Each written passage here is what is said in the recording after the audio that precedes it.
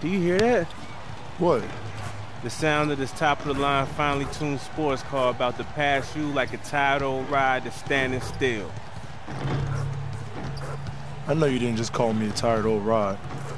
Nah, nah, nah, man. I'm just messing with you. We good? Good, because I was about to teach you a little bit about respect. Yeah, right. Get after it on the court. That's what we do.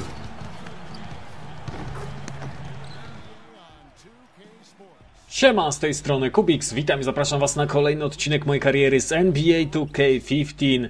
Gramy dzisiaj z Houston Rockets, a drugi mecz zagram z moją byłą drużyną, czyli z Denver Nuggets, także będzie się działo. Zaczęliśmy od pogadanki, którą gdzieś kiedyś już widziałem, tak mi się wydaje. Sporo gramy z Houston Rockets ogólnie w tej karierze.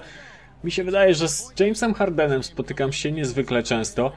I te dialogi, możliwe, że już się powtarzają. Gdzieś tą gadkę już słyszałem, tak? Muszę się wam przyznać. Jesteśmy mniej więcej w jednej czwartej sezonu. Mam za sobą 14 spotkań. Bilans jak na razie mojego zespołu to 9 wygranych, 5 porażek, więc nie jest najgorzej. Cały czas jesteśmy nad kreską. Mamy w tym momencie piątą pozycję ex z Houston Rockets w konferencji zachodniej, ale to jest dopiero wczesna faza sezonu, także nie ma się tym za bardzo co podniecać, bo wszyscy się podniecali chociażby w tym sezonie Sacramento Kings, a wszyscy wiemy jak to w końcu wyszło i nie tylko Sacramento Kings jest taką drużyną, ale tych przykładów można podawać wiele.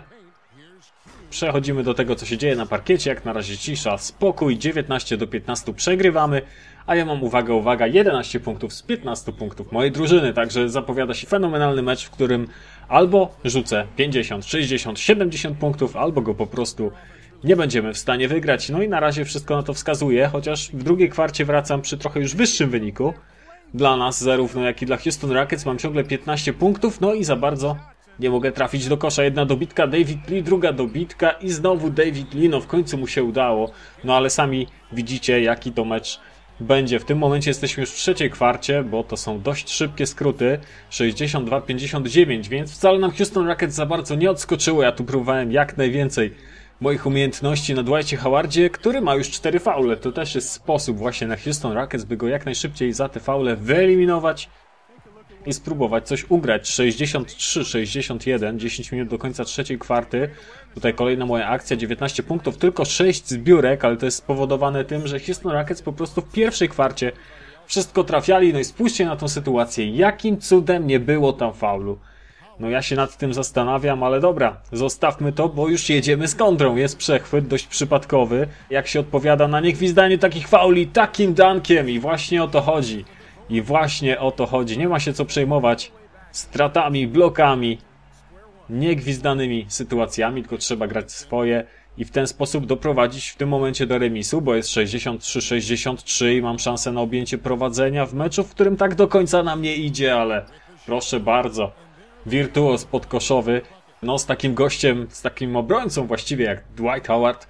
Łatwe to nie było, ale się udało. 23 punkty na moim koncie, już 8 zbiórek, już wygląda to trochę lepiej. Chociaż tutaj ta zbiórka powinna od razu wpaść w moje ręce. Dałem zebrać graczom z Houston. Cudem ta piłka trafiła z powrotem do nas, ale proszę bardzo, jak zakręciłem tutaj jednym z obrońców Houston Rockets. Właśnie tak trzeba grać i chyba jedna z nowych animacji, nie, jednak nie. Nakupowałem animacji danków, jeszcze nie mamy okazji wszystkich ich oglądać. Taki styl gry Golden State. Mam wrażenie, że oni właściwie nie chcą mi nawet podawać na te alejupy, gdyż często o nie proszę, ale jakoś nie mogę się doprosić. Nie wiem, czy to jest wina slidersów ustawionych dla tego teamu, bo mam wrażenie, że gdybym grał w takiej drużynie jak chociażby Toronto Raptors czy Los Angeles Clippers, tych alejupów byłoby więcej ale to jest tylko takie moje luźne przypuszczenie. A propos Toronto Raptors, to będziemy mogli sobie trochę więcej poopowiadać o tym nieszczęsnym wyborze, gdy będę grał drugi mecz w dzisiejszym odcinku z Denver Nuggets, bo właśnie między tymi drużynami się zastanawiałem w poprzednim sezonie. Wybrałem, jak dobrze wiecie, źle. Wybrałem Denver Nuggets, także wam tego nie polecam. A tu kolejne moje akcje, już w czwartej kwarcie. Mecz przechodzi w decydującą fazę. Proszę bardzo, jest dunk w jednym z najważniejszych momentów tego spotkania, no nie do końca, bo ważne momenty przyszły później, po 95, 8 minut do końca i zaczęli grać gracze z Houston. Tak to czasem wygląda, że o ile można prowadzić wyrównany pojedynek przez 3 kwarty, tak w czwartej kwarcie na Hall of Fame Cobb zaczyna oszukiwać i dzieją się właśnie takie rzeczy, bo w tym momencie przygrywam już pięcioma punktami, a to jeszcze nie koniec. James Harden oczywiście nie do powstrzymania, jeden z głównych kandydatów do MVP w tym sezonie. No i właśnie, są powody ku temu. 7 punktów przewagi, a tego nie dało się już za bardzo odkręcić. No i jeszcze Harden dołożył trójkę na 25 sekund do końca i tu już było praktycznie pozamiatane. I tak jak się spodziewałem, przegraliśmy ten mecz właściwie w czwartej kwarcie. Wszystko było ok, wszystko było ok do 10 minut do końca spotkania i nagle wszystko pieprzyło, jak to zwykle ma w zwyczaju. 120 do 114, mój mecz bardzo dobry, więcej zrobić praktycznie nie mogłem.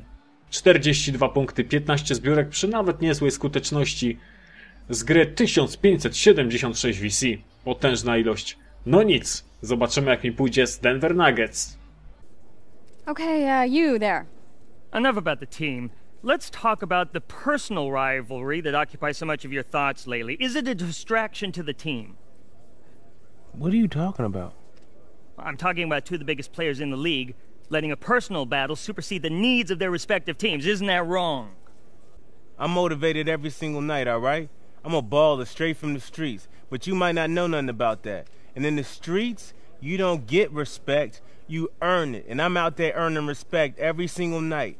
And if it means being motivated by battling another big dog, then so be it. Even if the team suffers. Team suffers? Man, the team ain't suffering nothing. Not as long as I'm motivated. Are you watching or not? And that's all we have for tonight, guys. Until next time.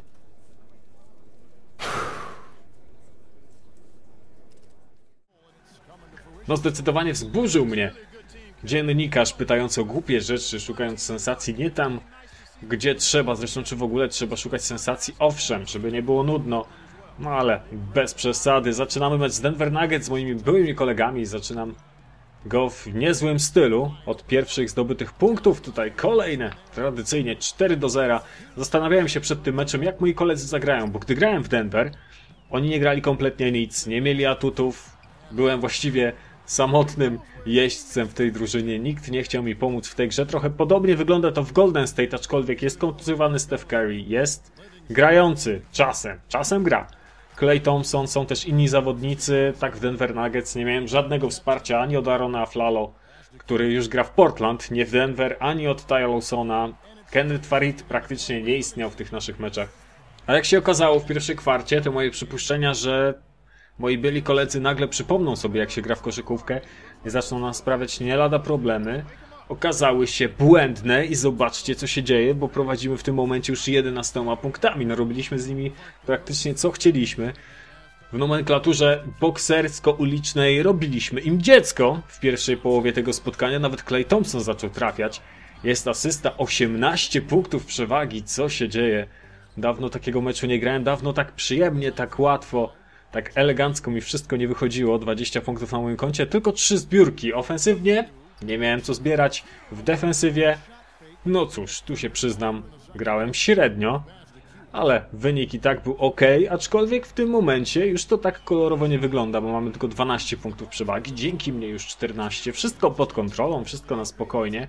Właściwie wydawałoby się, że nie ma się o co martwić, chociaż tutaj Denver Nuggets coś zaczynało powoli gdzieś tam grać, chociaż ja starałem się to tonować jakimś super dunkiem albo taką akcją jak teraz, żeby sobie za bardzo Denver Nuggets nie pomyśleli, że mogą w tym meczu cokolwiek z nami zagrać.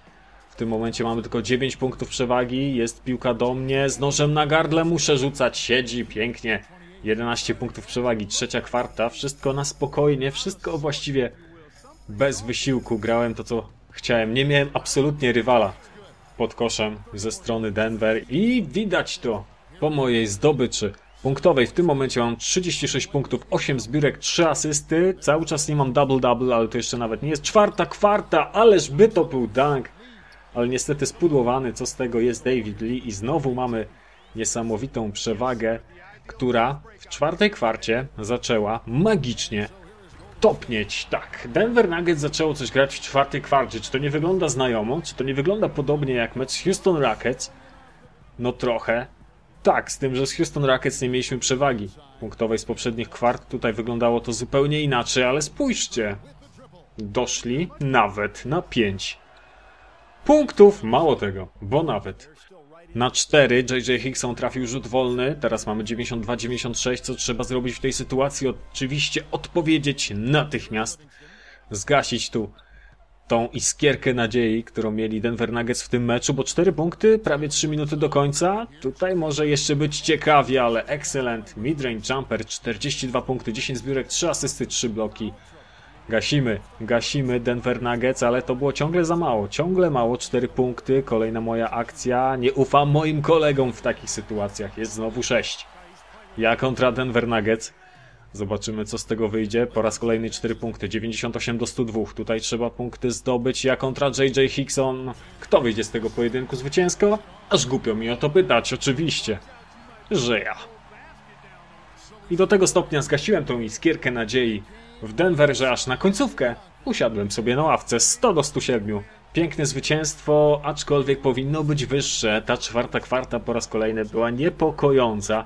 Trzeba nad tym popracować w kolejnych spotkaniach. Część z nich będzie symulowana, ponieważ ten sezon musi być rozegrany jak najszybciej. Staram się mniej więcej grać jeden, dwa spotkania, a potem trzy symulować, także już niedługo All-Star Game i zobaczymy, czy się załapie do pierwszej piątki, czy zgarnę MVP meczu gwiazd. Ja na to liczę. Tymczasem dzięki za obejrzenie. Mam nadzieję, że się podobało i zapraszam na kolejne odcinki tej serii. Lajkujcie, komentujcie, subskrybujcie, trzymajcie się. Cześć!